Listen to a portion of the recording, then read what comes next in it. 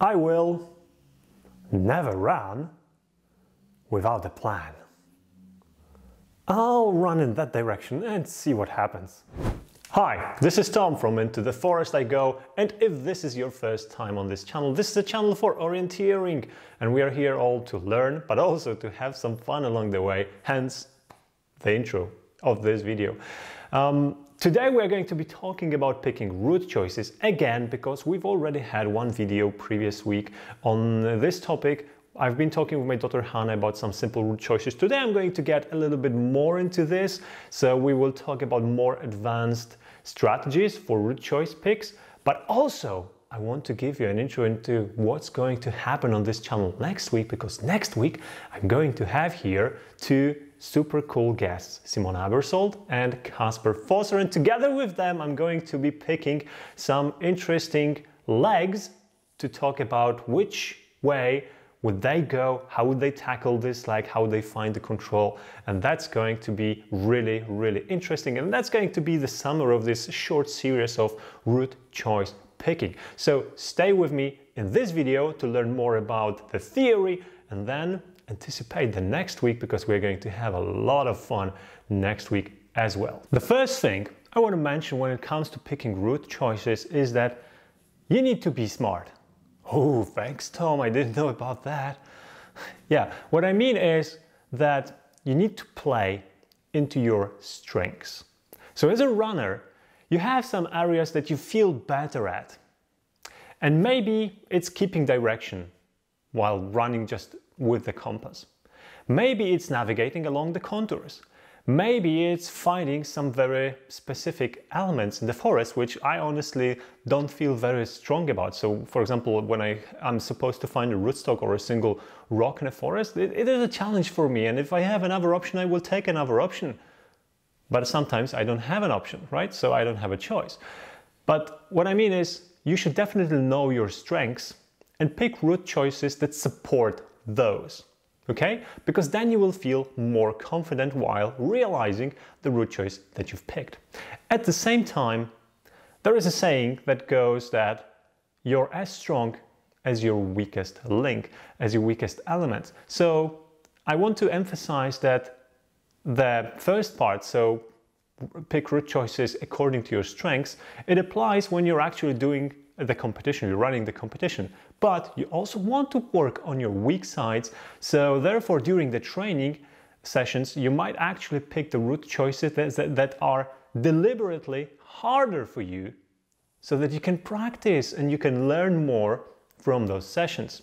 So during the races, definitely play into your strengths. During the training sessions, definitely try to work on those weaker sides of your orienteering technique. Something that happens way too often when I'm talking with people about their route choices is that they tell me that they tried to find a control but they missed it just by a few meters or 10 meters or 15 meters and therefore unfortunately they've made a mistake of and here you can enter any amount of minutes you want because it's really the whole range. Now why do people do that? I think that most most of the time, this is caused by the lack of the attack point. So you're trying to approach the control, but you don't know exactly from which spot you're attacking. Therefore, you cannot set your compass precisely, you cannot set your map precisely in the direction that you want to go to, and therefore, it's more possible that you're actually going to miss the control and you might be absolutely right, it might have been just 10 or 15 meters away from you, and maybe if you've looked to the left or to the right, you would have seen it, but you didn't because you've messed up the approach to the control. Maybe, possibly. Therefore, my theory is that every time you make a plan, you should start by making a plan from your current control that you're at or the one that you will be running from to not the next control, but actually to the attack point to the next control. And that sometimes makes a difference because it happens that if you want to approach the attack point rather than the control itself, and the attack point might be 100 meters away from the control, sometimes even further away, sometimes closer if you have um, good, good choices for the attack point. But what will happen is that you will be picking the route choice to the attack point, not to the control.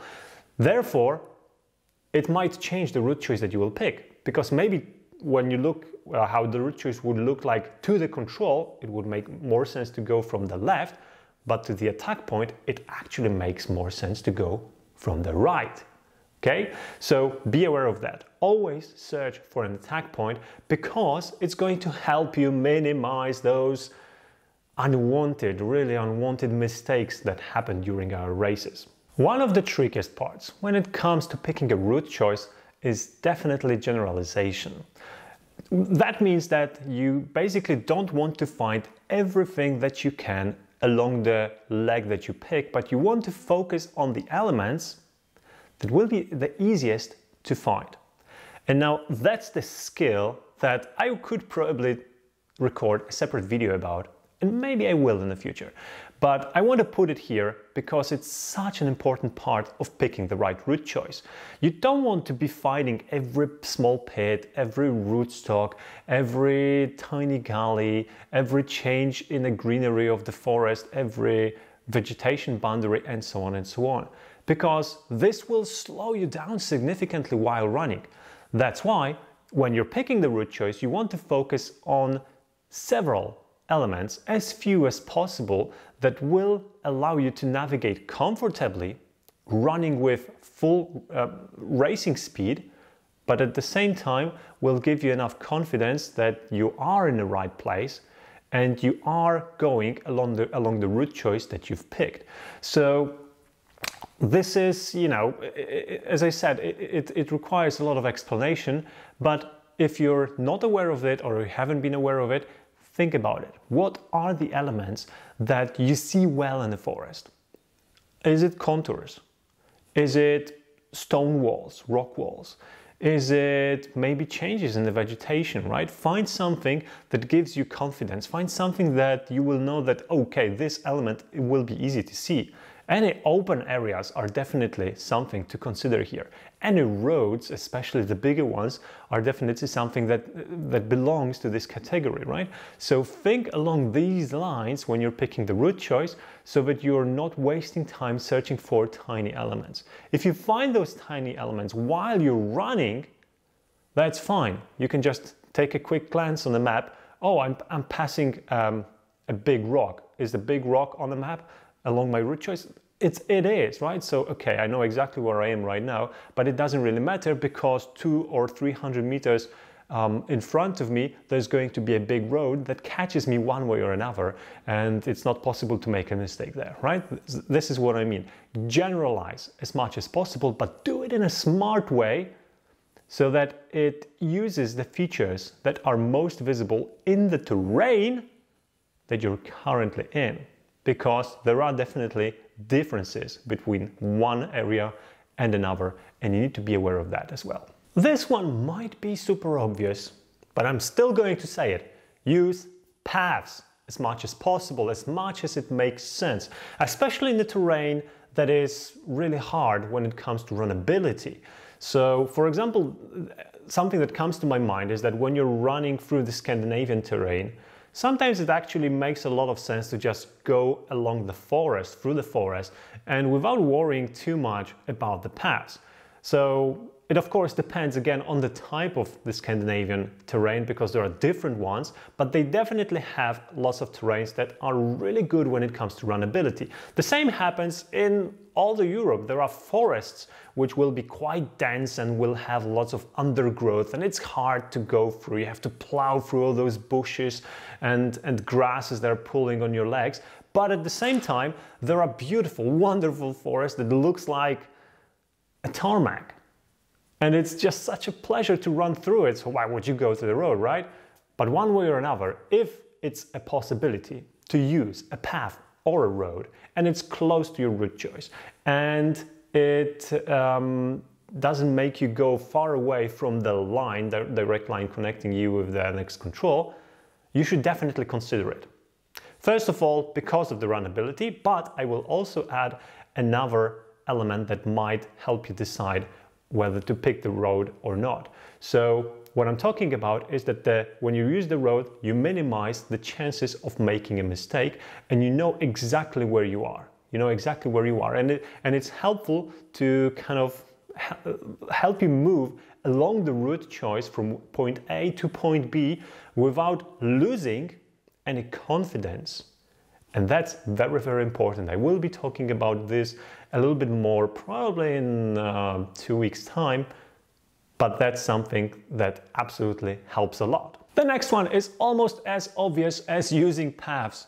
Read the contours. Read the contours because they will tell you uh, not only how the terrain looks like and help you understand what you, what you will see in front of you uh, while you're running, but also they will help you avoid climbing too much. So if you don't feel a very strong climber and you sometimes prefer maybe to go a little bit longer but on a flat terrain, you will definitely want to take a look at the contours.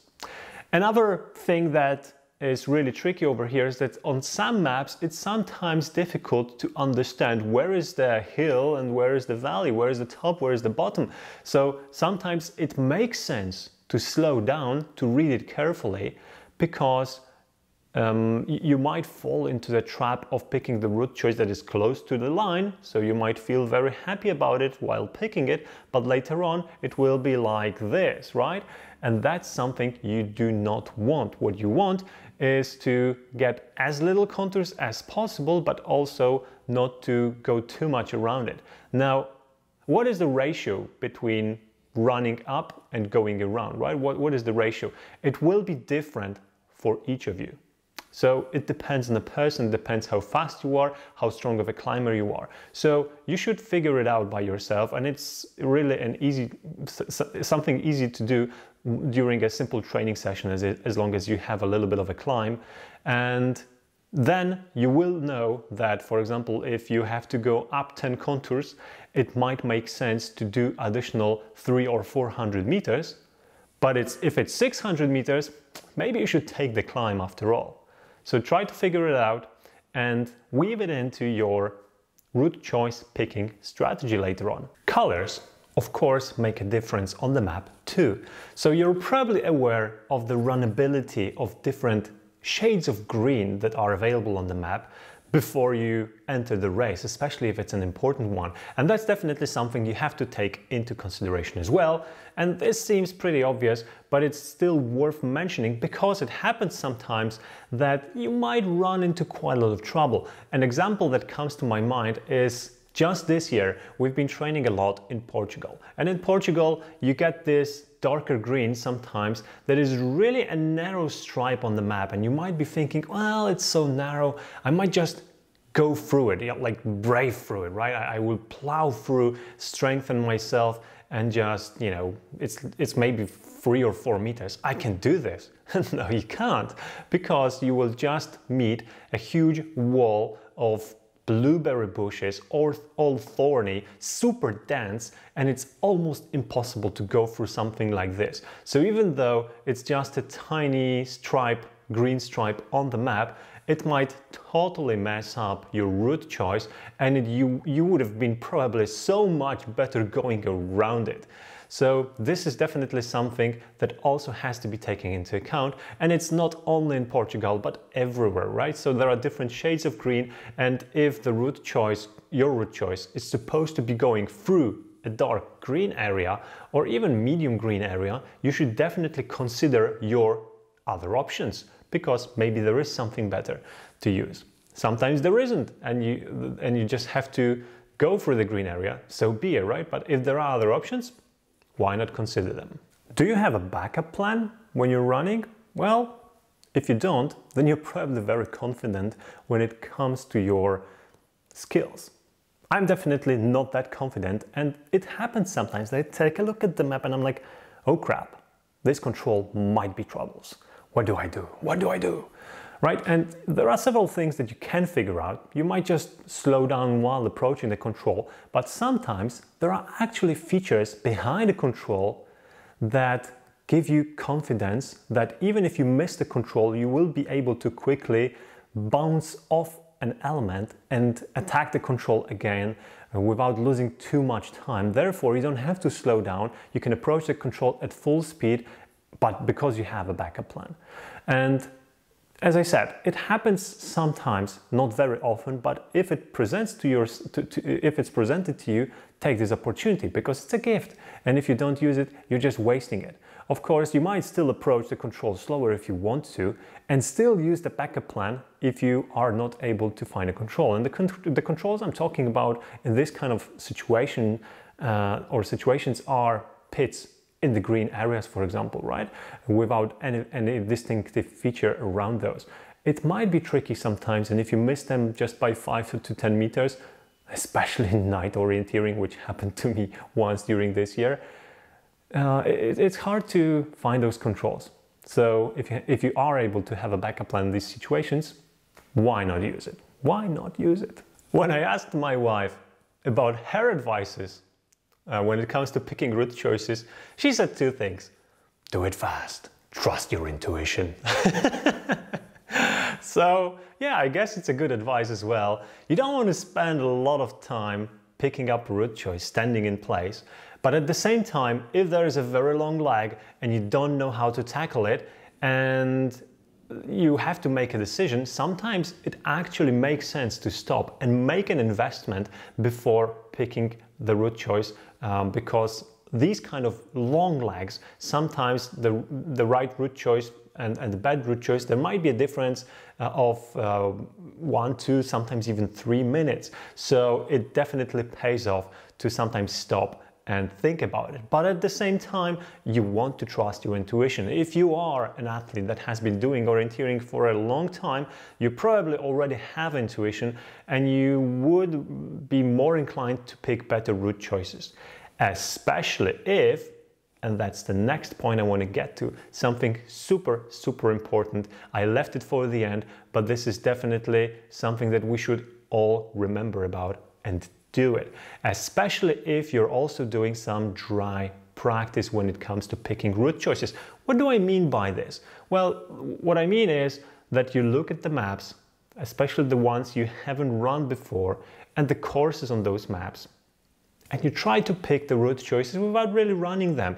Nowadays, it's so easy to do. Just go to Livelox or any other website that has these um, post analysis races you just launch any map, take a look at it, and think, how would, would I tackle this particular leg? And then later on, you can even turn on the runners and see how they did when it came to, um, to the leg that you were thinking about so that you can see if the best runners in a category confirm your choice or maybe they have noticed something else that you didn't. And this is how you learn. This is how you train your intuition so that later on, during the race, it actually helps. And that would be all that I've prepared for you today. Now I do realize that this hasn't been rocket science. This is still quite close to basics. So I'm calling this advanced because there are definitely less advanced um, advices I can give you, which I did in the previous video, but this is still something that will help you pick the better route choice. But the reality is that the mistakes are often made not while picking the route choice, but when you're actually running it. So this is definitely something that I will have to tackle in one of the videos in the future and I will. I promise you I will because there are lots of elements that come into play when you're trying to finish up the route choice that you've picked. Now, if you think that the advices I've given in this video are lacking something and you want to share an additional element that is very important while picking route choices, please do this. Let's see if you can mention something that I did not mention here, but Simona or Kasper are going to mention in a video next week. This is a challenge. If you've liked this video, give it a like. If you're not subscribed yet, consider subscribing and I'll be seeing you next week.